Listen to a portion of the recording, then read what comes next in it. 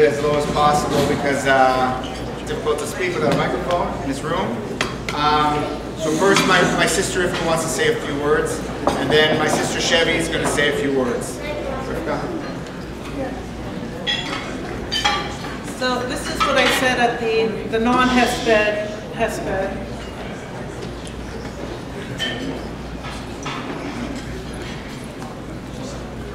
Nishma- Nishmata I'm going to say a pasuk in Hebrew. Whoever went to Associated Chapel from last should be able to understand. Okay. Chok Shimor Ha'energia Ha'omer Sha'energia Lo Holechet Libu ella Nish'eret B'tzura Shoneh Kach Sha'nishmato Shel Ha'adam Eno Holechet Libud ella Chozeret B'tzur machatzevet.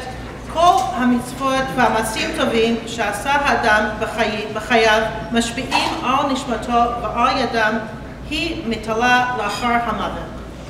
The law of conservation of energy states that no energy is lost, rather remains in another form. Even upon my mother's death, her neshama remains with us and within ourselves. Mom was a balabusta par excellence, expressing her devotion to family, home, and Jewish life. All those who experienced my mom's warmth, comfort, nurturing manner, maternal instinct, welcoming embrace, patient and calm demeanor are zocher are merited with my mom's neshama. This includes my mom's children, sons and daughter-in-laws, grandchildren, great-grandchildren, grandchildren's-in-law, uh, nieces and nephews, um, siblings, Auntie Joycey and Uncle Brian, Uncle Shelley and Auntie Nira, and my dad, my dad's siblings, and their in-laws. Um, um, neighbors and shul members of B'nai Torah, UJ colleagues, our friends growing up in Toronto, our friends and neighbors in our lives in Israel, all the professional medical people and caregivers, my mom's cleaning lady, the pot man, and the list goes on. So these words of Preda, so in the Bavaya, you weren't supposed to say uh, it was called uh, Preda. So these words of Preda are not for my mom's absence, because her, her neshama will always be with us. And when I said this, it was, it was a bit more emotional, still am. But over, I would like to um, build on what David said. Um, we grew up in this community. I remember when we built the shul, and we built the, remember everything. We built the um, Yarona Kodesh, and babysat for people here, people who babysat for us, and people's homes. We went to Bnei Akiva, Benos, some of you still have that here. And as you get older, like we got older, um, and looking back and coming and being amongst you all again really also brings back for me warm feelings and we were able, Baruch Hashem, my siblings and I, to have our homes in Eretz Yisrael and our children are growing up in Eretz Israel. and um, I want to thank everybody. We really feel the, the warmth and the and the support that we had while my mom was ill. And um, I just want to share another thing that they, things about my mom, if you indulge with me. So Chevy and I were in the hospital with my mom the week before she died, and we were going over all the things my mom taught us. I mean, I'm sure we didn't go over everything. I go, Chevy, you say something, you say something. We're going all these things, and as a mother, you don't realize it until you're older. Like just little things. Mom taught us how to knit. She taught us how to sew on a button. She taught us how to respect all kinds of people. She taught us how to bathe, how to clean us, scrying pot. So I just wanted to share that insight with, that we have with my mom, and we're still having it. And thank you all for coming.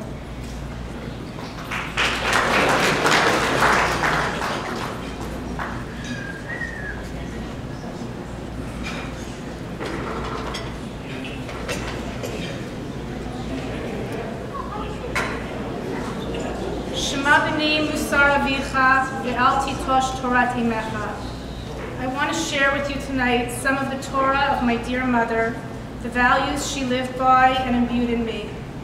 My mother possessed a love of Torah and mitzvot and lived her life by example, never preaching what she herself did not practice. Tamim tihiyeh im Hashem Elokecha. My mom was a woman of great faith. Every morning, mom started her day with her daily prayers, every word from beginning to end. Her blue Birnbaum siddur accompanied her on her many trips to Israel. Often we would suggest that she leave the heavy siddur at home and use one of ours, but she would not hear of it. It went with her everywhere. When mom didn't make it to shul on Shabbos, she read over every word of the parsha to herself. She had a list in her siddur of the names of the sick people who she prayed for.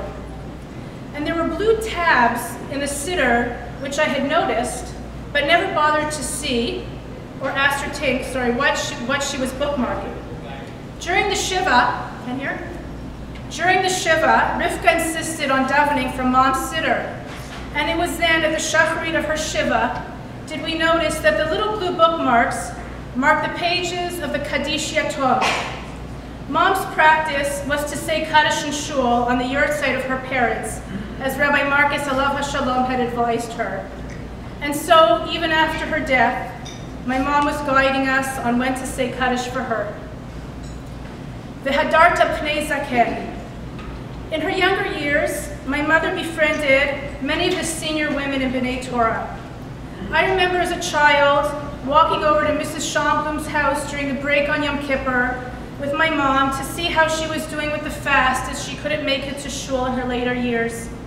I remember visiting Mrs. Gottesman with my mom in the retirement home, Mrs. Krakowski in her apartments, Mrs. Jacobs, Mrs. Kafka, Grand Sasto, Mom always looked out for those who may have wanted company. Mom was rewarded in kindness, in kind, for the kindness she showed the seniors in her younger years by being blessed with such a caring and friendly Rebbitzin and neighbor, Miriam Malevsky, and her daughter, Abigail, who on a weekly basis visited my mom when she became the senior woman, and they created a true friendship with her. Mom's phone had pictures on it of Abigail performing in a school performance that they invited her to, and how she loved to go. Heve mikabel et kol ha'adam b'sever panim yafot. Mom had a big heart and lots of patience to listen to everyone's problems. She was empathetic to anyone in distress. She greeted everyone with a genuine smile and enjoyed meeting people. She was a great conversationalist and took interest in whatever someone had to tell her. Throughout her life, she made it her business to call and send cards to all of the various relatives and tried to make a connection with each and every one. She had a very close relationship with her brother and sister and her sister-in-laws and brothers-in-laws as well. She forged loving bonds with her nieces and nephews. My cousins in Toronto had a special relationship with their Auntie Rosalie and visited and called and invited her over often. My mom created a special relationship with each of her grandchildren. The distance between them did not deter her from learning about all of their interests and being involved in each and every one of their lives. After spending six weeks in Toronto during my mom's illness, I was able to reconnect with many of her friends that called and visited, and so many told me how they loved my mom. Chesed al.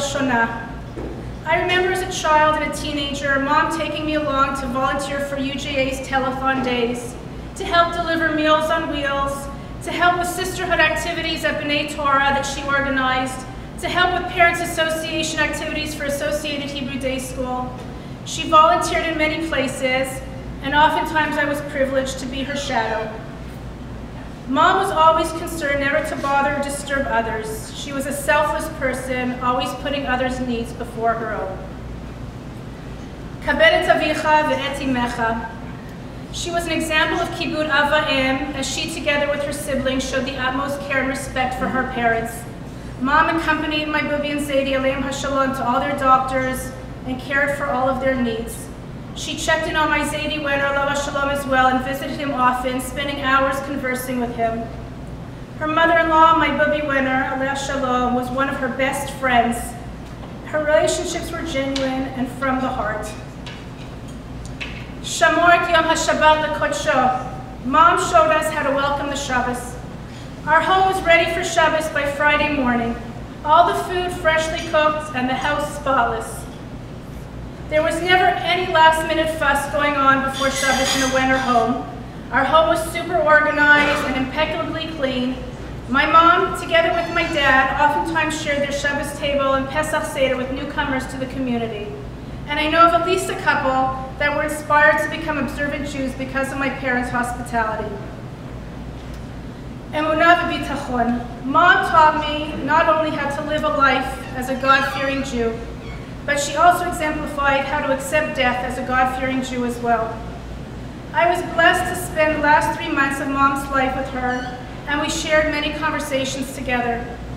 She believed that her future and her health was in God's hands, and she accepted the fate that God had decreed. Her. She had hoped to live a longer life, but at the same time, she never questioned her fate.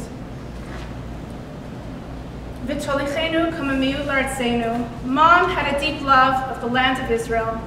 She dreamed of coming to join her children and grandchildren in Israel, but unfortunately, her dream was only realized out of trying circumstances.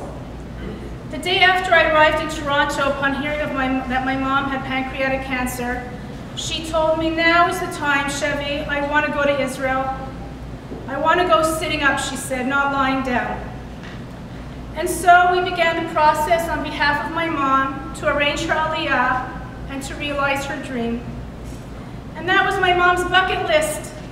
One last mitzvah she wanted to fulfill in her lifetime, Yishuv Eretz Yisrael, and to spend her last days amongst her family in Israel.